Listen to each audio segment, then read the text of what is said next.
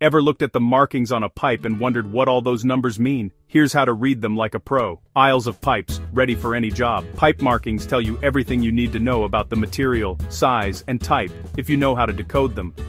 Here's what to look for. Material type. You'll see abbreviations like PVC, CPVC, PEX, ABS, or CU for copper. That tells you what the pipe is made of. Nominal pipe size, NPS. This is the industry size, not the actual outside diameter. For example, a 3-part 4-inch copper pipe measures about 7-part 8-inch outside diameter. Schedule or wall thickness. PVC and CPVC often show a schedule number, like SCH40 or SCH80. Higher numbers mean thicker walls and higher pressure ratings.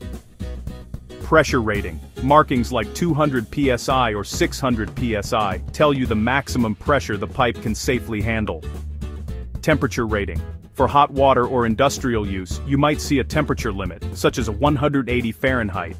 Certifications and standards. Look for marks like NSF, ASTM or CSA, these ensure the pipe meets quality and safety standards for water use. Once you understand those markings, you can match fittings, Choose materials, and make sure every connection meets the right spec. Common fittings, copper, PVC, PEX, and black iron, side by side. For plumbing fittings and supplies, visit plumbfounded.com or call 800 716 8820.